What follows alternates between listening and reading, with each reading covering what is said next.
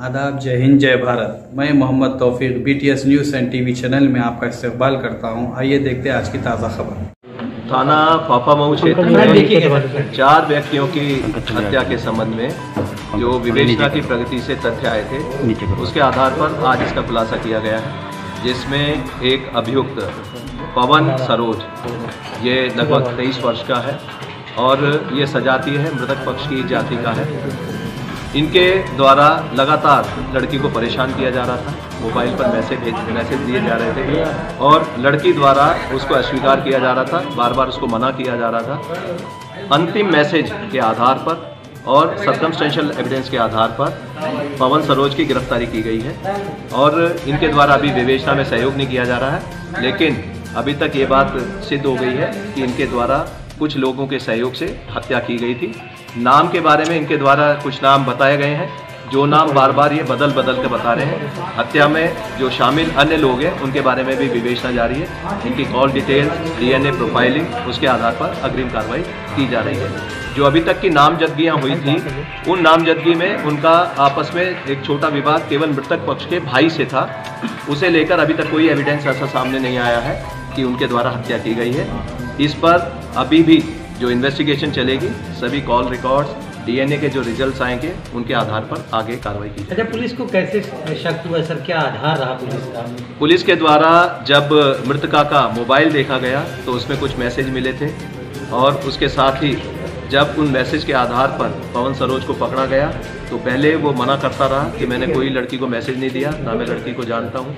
लेकिन जब उसको मैसेज दिखाए गए, उसका मोबाइल बरामद किया गया तो स्वयं के मोबाइल से उसमें मैसेज मिल गए। उसने गौरी मैम नाम से बच्ची का नंबर सेव किया हुआ था।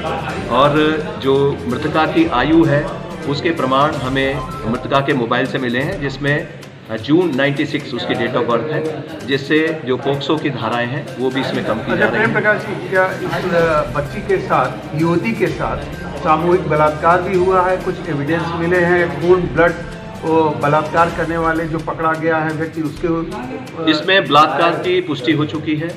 इसमें जो निशान मिले हैं उसके पी- जो निशान मिले हैं उसके पीबी हेयर्स पे निशान पाए गए हैं। और जो अभी तक परीक्षण रिपोर्ट आई हैं उसमें ये सिद्ध हुआ है कि वहाँ बलात्कार हुआ है।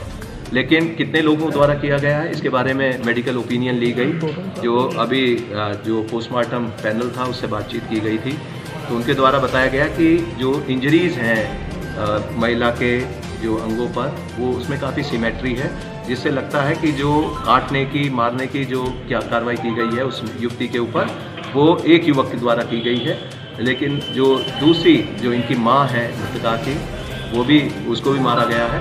उनके साथ रेप की पुष्टि नहीं हुई। क्या एक व्यक्ति इस घटना को अंजाम दे सकता है और पकड़े गए व्यक्ति के शरीर पर भी चोट के प्रतिरोध के निशान है? यह व्यक्ति क्योंकि अनपढ़ है और एक तरफा प्यार करता था उसे लेकर इस पर जब इसके शरीर की जाँच की गई है तो प्राइमर में सही उस पर कुछ चोटों के निशान हैं जिसको स्वयं एडमिट कर रहा है। कुछ इसकी शर्ट पर निशान मिले हैं जिसको ये पान के निशान बता रहा है लेकिन देखने में वो खून के निशान प्रतीत होते हैं। इनके कपड़े इनके जितने भी वहाँ अन्य एविडेंस हैं उनको कलेक्ट कर हम एफएसएल भेज रहे हैं और डीएनए प्रोफाइलिंग के बाद ये मामला एकदम क्लियर हो जाएगा। ठीक। Thank you